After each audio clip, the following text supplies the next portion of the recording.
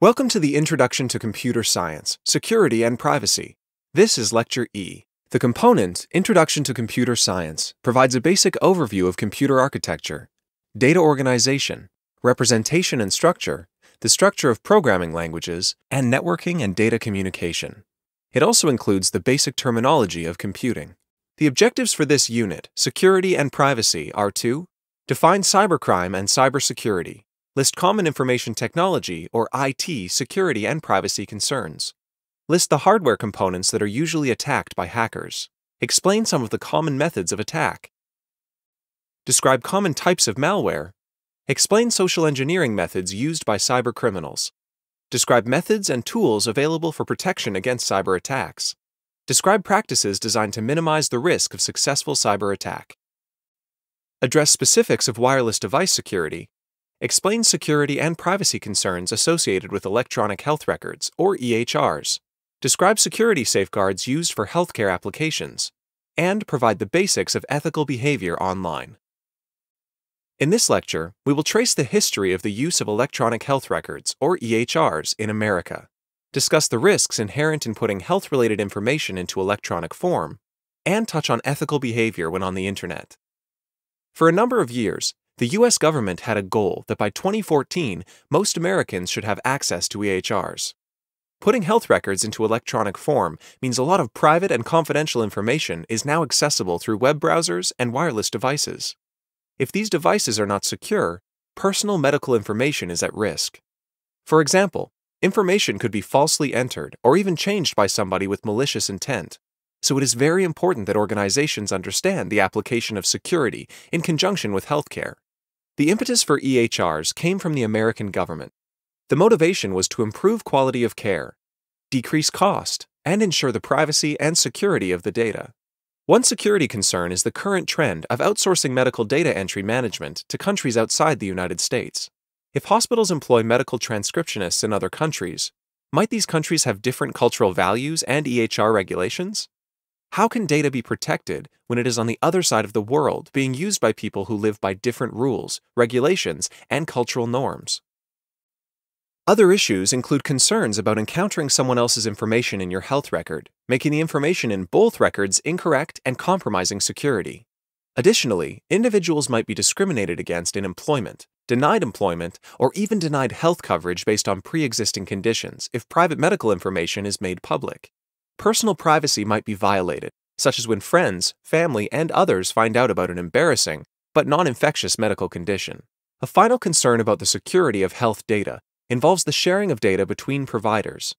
Anytime data travels over the internet, there is always a risk to data security and privacy. An EHR system is a collection of health data about medical practices, patients, doctors, nurses, and all entities involved in the healthcare process. Health data is stored as a record in a database system. For every visit to a doctor, an entry is recorded in the EHR, and that record is stored in a database. The patient's name and contact information are one record in the database. The patient's diagnosis and treatment are other records in the database. Tests ordered and procedures performed are yet another record in the database. EHR systems are used and maintained by healthcare providers and others to store healthcare data. Healthcare providers, healthcare clearinghouses, and health plan providers are subject to federal rules governing security and other rules related to EHRs.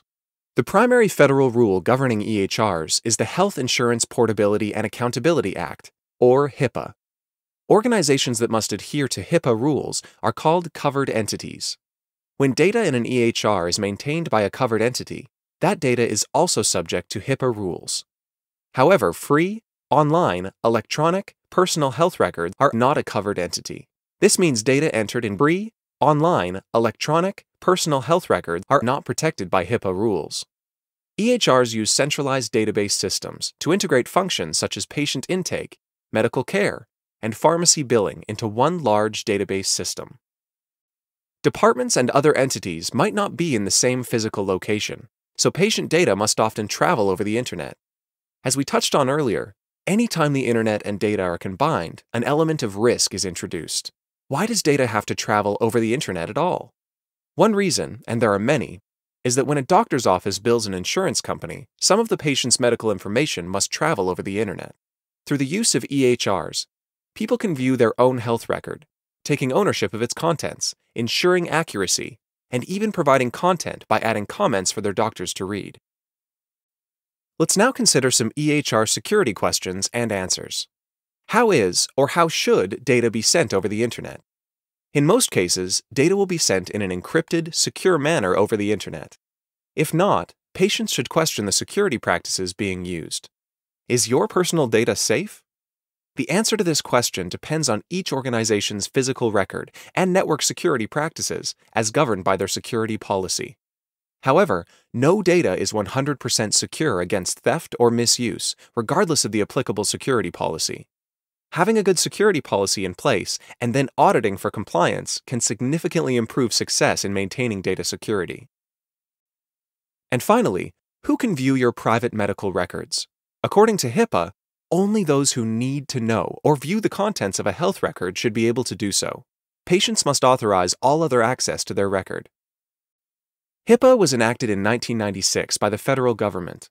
HIPAA establishes privacy and security standards and requires that healthcare providers, insurance companies, and care clearinghouses, organizations that translate claims data into and out of HIPAA standard format, abide by privacy and security standards. The HIPAA privacy rule requires covered entities to provide patients with what is known as a Notice of Privacy Practices when care is first provided. A patient might receive this notice when visiting a walk in clinic, for example. The privacy rule covers both paper and electronic private health information. HIPAA also incorporates a security rule that goes farther than the privacy rule in that it covers administrative, physical, and technical data safeguards that must be enacted to secure EHR data. All of these should be outlined in the entity's security policy. Most privacy laws revolve around privacy between a person and the government. According to Wikipedia, the law of privacy regulates the type of information that can be collected and how this information may be used and stored. Privacy relates to people. For example, a patient's visit to a doctor is private information.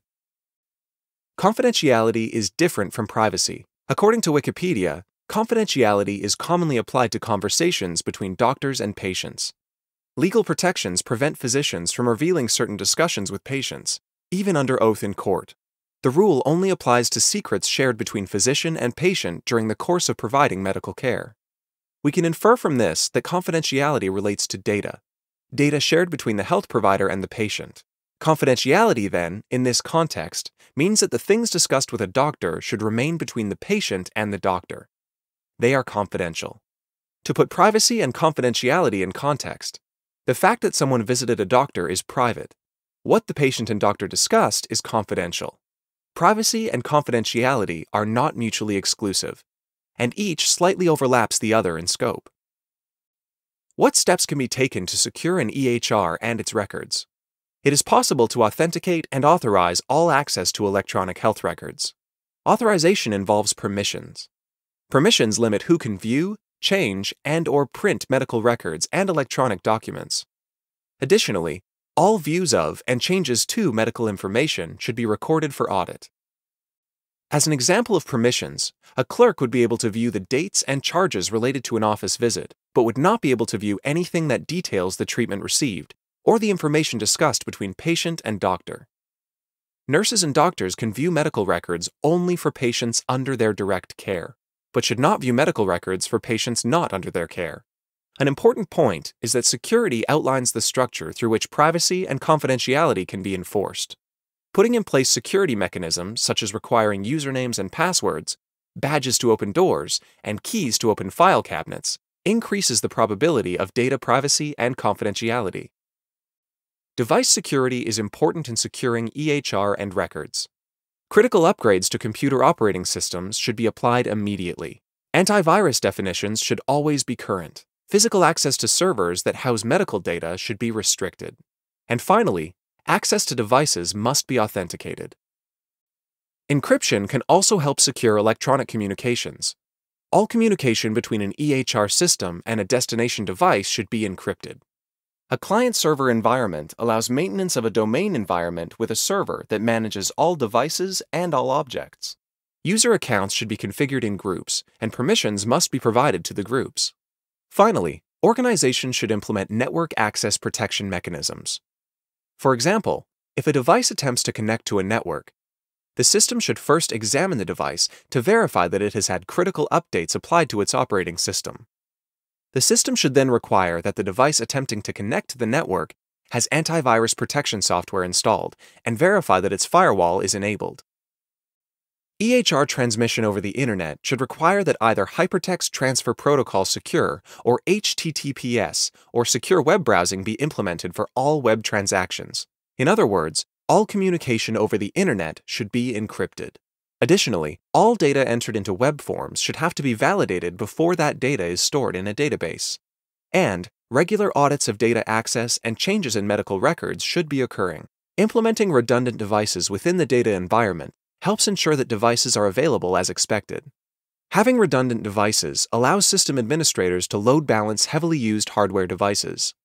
For example, rather than using only one server to store database records, an administrator can create a five server cluster. Then, whichever server is the least busy can respond to requests for database records. Administrators should prosecute security violations vigorously. If a hacker attacks a network, administrators should immediately report that activity to the authorities.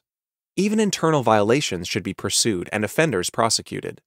This would discourage others from taking the same actions.